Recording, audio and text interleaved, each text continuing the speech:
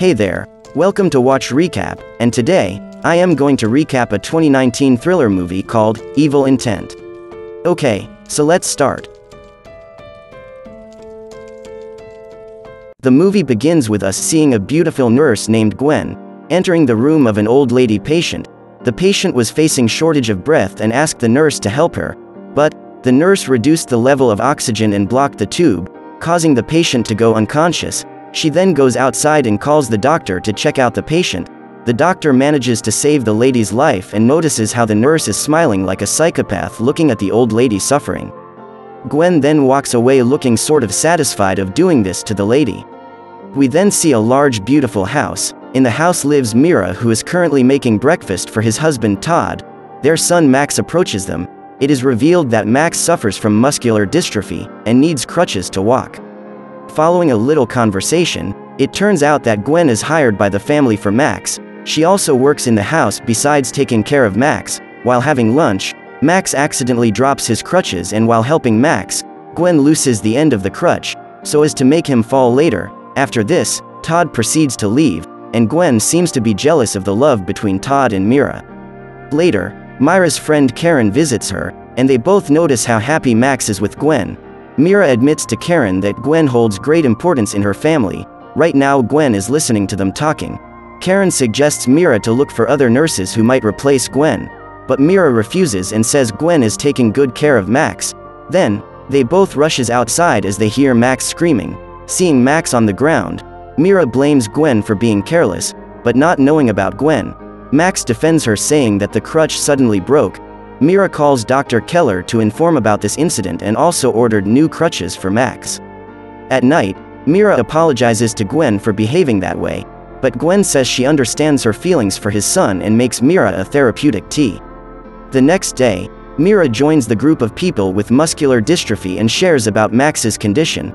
Max was diagnosed with the condition this year. It started when she noticed that Max couldn't climb a playing slide and falls every time, She's crying while telling this to everyone in the room. While reaching home, Mira was surprised by Gwen and was offered some tea, while Mira was sleeping. Dr. Keller brings home new crutches for Max, but Gwen stops her from going into Max's room, so, while leaving, Keller realizes that she had seen Gwen somewhere before, but can't remember accurately. During the evening, Gwen goes to Dr. Keller's house, and as soon as she got in, she injected Keller with a syringe, and helps her recall that she actually saw Gwen at the hospital before, while she was saving the patient Gwen tried to kill. She admits that she's killing her just so her identity remains a secret. It is revealed that she has fallen in love with Todd, and fantasizes to have a family with him. During midnight, Mira receives a call from an unknown person David, who introduces himself as a member of the group she has joined recently. She shares about Max's condition with him, but when she tries to see his face, she could only see a low-quality profile pic of him. David says that his wife has died, and is being helped by a nurse to handle the condition. Mira gains confidence having Gwen as her nurse for his son, but Mira is unaware that the unknown guy David is actually Gwen, who is talking to her with the help of a voice changer, just to convince her that she has done the right for his son by hiring Gwen. The next morning, Karen visit the house while the family was having breakfast, she accidentally spills juice over Todd, Todd then takes out his shirt. At this moment, Gwen seems to be mesmerized by Todd's personality, and she then take his clothes for wash. Karen while comforting Mira, says she will bring the bag from her office. She passes by the laundry room and accidentally sees Gwen, smelling Todd's shirt. On that night, Gwen talks to Mira as David, and asks about her and Max's health. Gwen then immediately hangs up on the call and approaches Mira, accusing her of talking to some other guy and cheating on Todd. After this, Gwen tells Todd about Mira talking to some guy on the phone. She tries to convince Todd that his wife is cheating on him. Todd defends Mira, saying she must be talking to Doctor. And then, Gwen hugs Todd and says goodnight. The next morning, Todd and Gwen talks in the kitchen while Mira is still sleeping. Gwen always try to find ways to get closer to Todd. But then, Mira wakes up, spoiling her moment with Todd. It turns out that Gwen has made the breakfast and has done all the household by herself. Later, Mira receives a call from Karen, thanking her for the flowers she sent her on her special day. Mira is confused because she haven't sent any flowers to her. Karen suggests her to see a doctor regarding her health. It turns out that Gwen sent the flows to Karen. She says she did it in case Mira would forget it. Mira faints as they walk downstairs. She says she will go to a doctor and asks Gwen to not tell about this to Todd. But Gwen asks her to stay at home and she will take her blood samples to the lab. Later, Mira again talks about her health with David at night. Just at this moment, Todd and Max arrives and asks her to come to bedroom to sleep. But suddenly, her vision becomes blurry, so she says she will follow after him. At this time, she receives a text message from an unknown Paran which says that David is a fraud. She then looking at the message falls asleep. When Todd comes to check Mira in the morning, he sees the, the message, and leaves. Mira then apologizes to Gwen saying she suspected her before but she proved to be trustworthy. Gwen is happy because everything is going as she had planned. Mira again receives a message from that unknown person but she blocks him, and goes to work. At the office, Mira tells Karen that her test results are fine and Gwen suggested her to just get enough sleep and everything will be okay. But Karen asks her to see a doctor who has nothing to do with Gwen because Karen is doubtful about Gwen. But Mira ignores this. She then receives a message from Gwen disguised as David, that the unknown person who texted her is a spammer.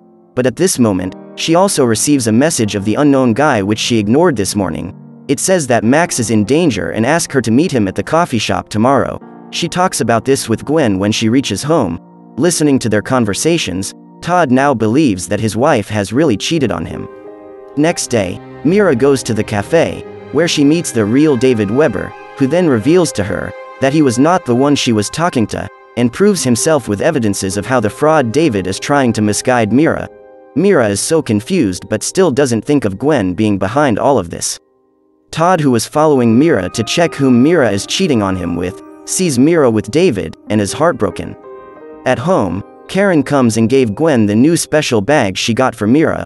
Also, she admits that she saw Gwen smelling Todd's shirt, and threatens her if she's trying to play with the family, and if she is, then she will pay for it. While leaving, Gwen attacks her from behind, she takes her to a place and injects her with something and leaves her with her car. At home, Mira is cooking dinner while she receives a message from Todd saying, he will be home late tonight.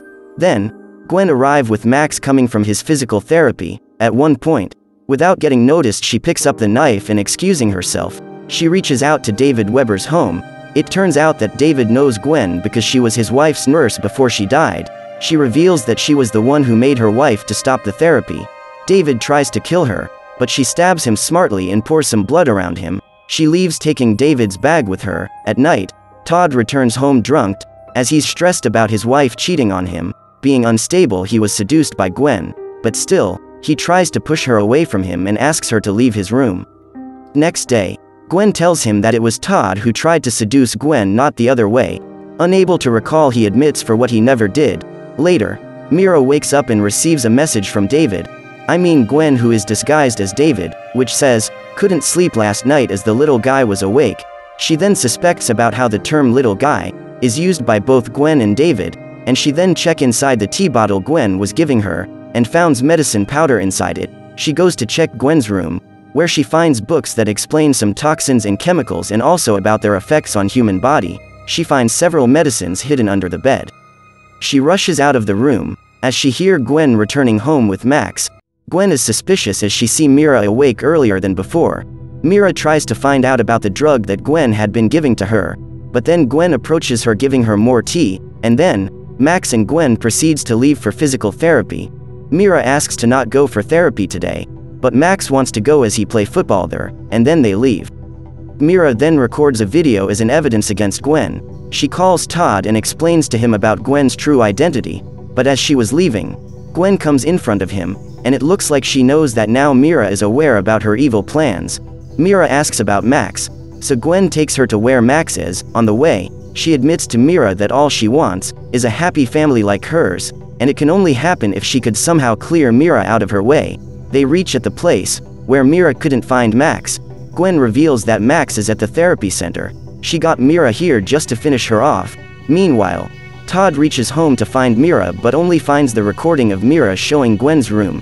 Here, she then explains how she killed David with Myra's fingerprints on the knife, and that the blood she dropped around David was of Mira, which she took from her for the lab test. Scared of her, Mira tries to escape, but is caught by Gwen from behind, they both then struggle in the kitchen.